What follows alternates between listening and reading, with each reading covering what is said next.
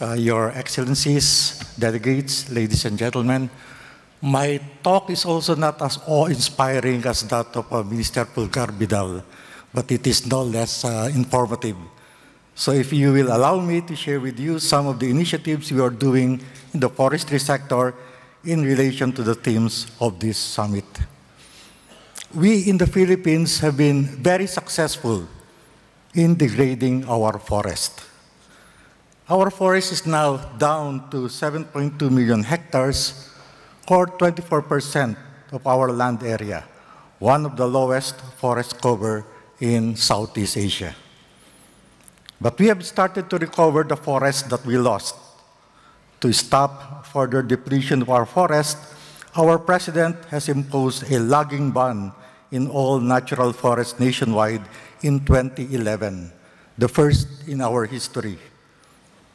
Together with intensified enforcement, we apprehended 25.5 million board feet of illegally processed and illegally cut forest products since 2011.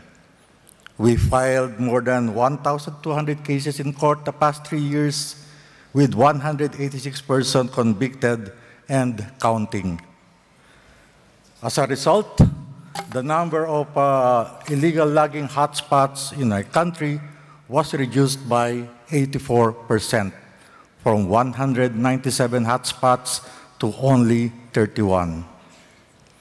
Shown on the screen is the spatial representation of the hotspots before and after the log ban. We will further reduce these hotspots until there is none. From the confiscations, we have been able to produce more than 146,000 school chairs and repaired more than 300 school buildings. Before, we sell what we confiscate through public auctions. However, suspected illegal loggers were the ones winning the auctions. To expand our forest cover, our president established in 2011 the biggest reforestation program in our history, the National Greening Program. We intend to plant 1.5 billion trees in 1.5 million hectares in six years.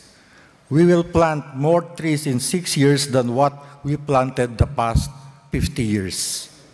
This is less than what they do here in Indonesia, but it is already our biggest. This program intends to address poverty, food supply, biodiversity, and climate change. For the past three years, we have planted more than 683,000 hectares. This is equivalent to what we planted the previous 23 years. This year, our target is to plant 200 million trees in 400,000 hectares.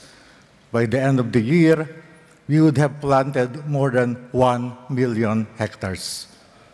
Aside from the benefits from additional forest, the program has so far employed more than 168,000 persons in upland and rural communities.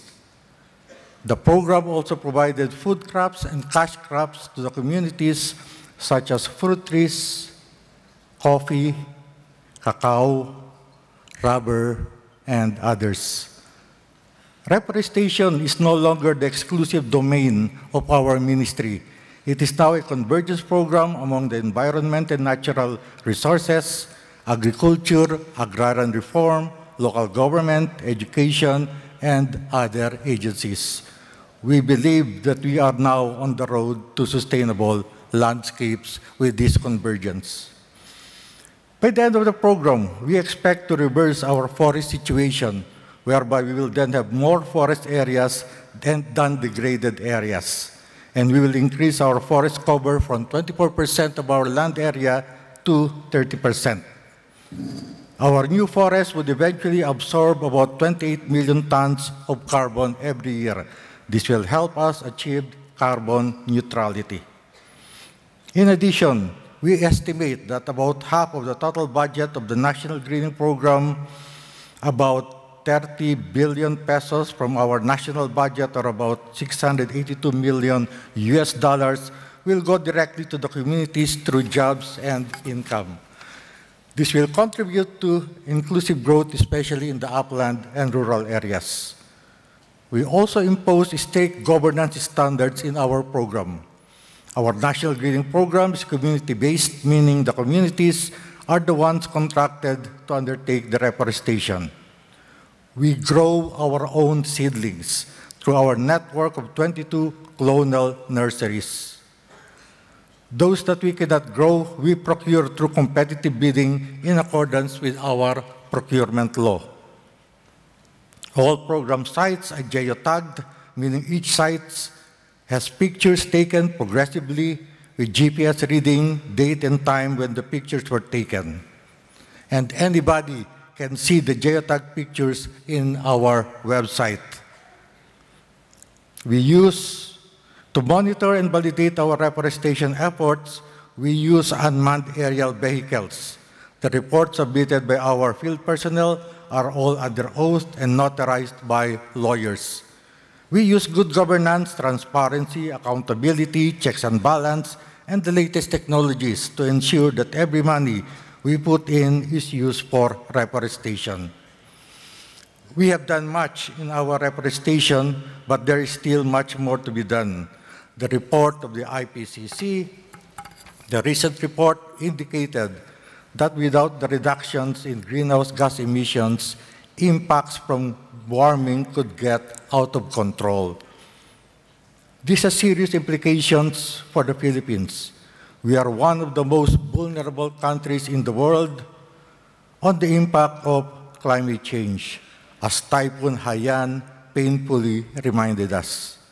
This makes our participation in this summit important there are many things that all of us can share, but there are more things that we can learn from each other. We wish you a productive summit. Thank you very much.